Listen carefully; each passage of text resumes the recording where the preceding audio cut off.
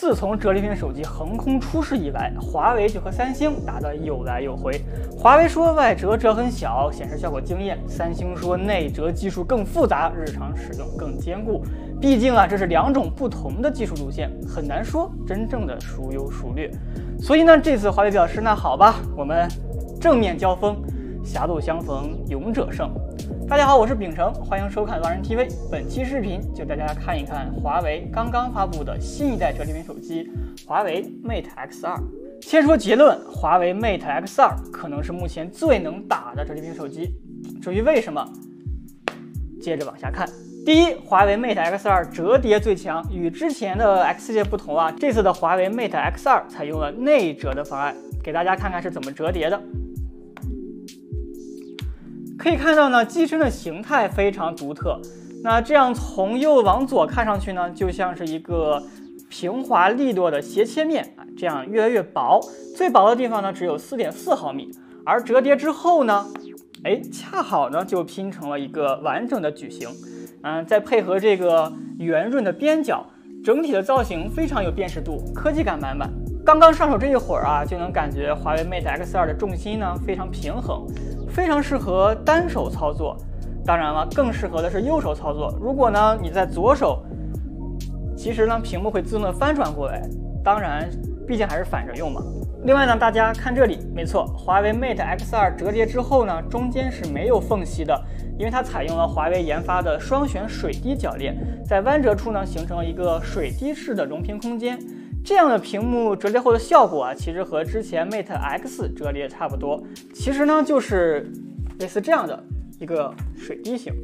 所以呢，屏幕的折痕是相对更小的，但是呢，长久使用呢，还是会有一些凹凸不平的存在。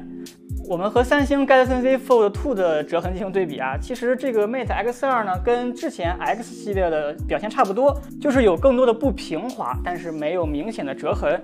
而三星呢，是有一道明显折痕的。另外呢，铰链两侧还采用了这样一个隐藏的开合设计，这样呢，屏幕里面就不会进灰尘了。第二呢，华为 Mate X2 的屏幕尺寸最强，外屏呢是六点四五英寸，采用了一个二十一比九的比例。相比三星 Z Fold 2系列这样窄窄的设计啊，更接近普通的手机。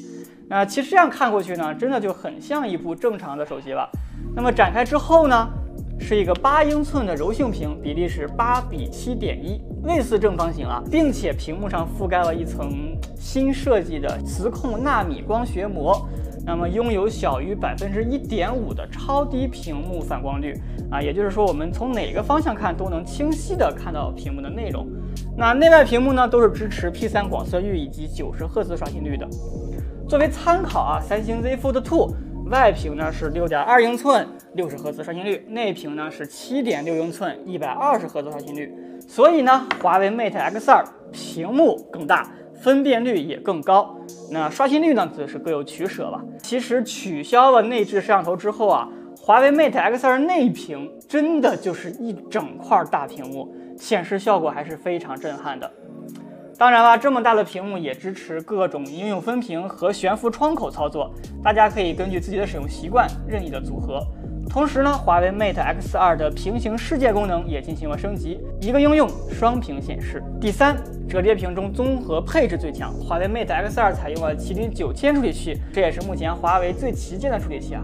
我们都知道呢，麒麟九千采用了五纳米的制程工艺，除了性能之外，AI 性能最为强悍。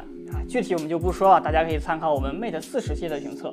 虽然依然是熟悉的处理器啊，但是呢，华为 Mate X2 呢还支持双卡双待，哎，这一点上比 Fold 2强。第四，折叠屏中拍照最强。搭载了徕卡后置四摄，主摄呢依然是五千万像素的 RYYB 超感知摄像头，另外呢还有一千六百万像素的超广角，一千二百万像素长焦，以及这颗八百万像素的十倍光学潜望镜头。说完四项最强呢，再说四个缺点吧。第一呢，虽然是支持四千五百毫安时的电池以及五十五瓦的快充，但是嗯。不支持无线充电，对于旗舰手机来说呢是个遗憾。第二，虽然呢采用了全新的屏幕折叠技术，但其实仍然没有达到完全的无折痕，可能长时间使用过后啊，中间的痕迹还是比较明显的。它也不支持这个屏幕的悬停，在这一点上跟 Z Fold 2相比呢，可玩性就少了不少。第三呢，屏幕刷新率呢，内外都是九十赫兹，缺席吧现在旗舰标配的一百二赫兹还是有点遗憾的。第四呢，就是贵了，售价一万七千九百九十九元和一万八千九百九十九元，还不一定能抢得到啊，毕竟 Mate 四十系列的部分机型至今它还是个理财产品。当然了，这不是它的问题，而是我、我们和你们的问题。好的，这就是今天给大家带来的简单上手。那这部华为 Mate X2 呢，其实最大的看点还是全新的华为带来的向内折叠的技术。这下子呢，你想要内折还是外折，都有的选。另外呢，无论是屏幕、拍照还是有线快充，各方面都没有缩水。相比三星 Z Fold 2，其实更加旗舰了。当然了，如果要想看更加详细的评测，或者是这两部手机更加详细的对比，在评论里告诉我们，稍后会为大家奉上。好的，本期视频就到这里，欢迎大家继续支持万人 TV，我们下次再见。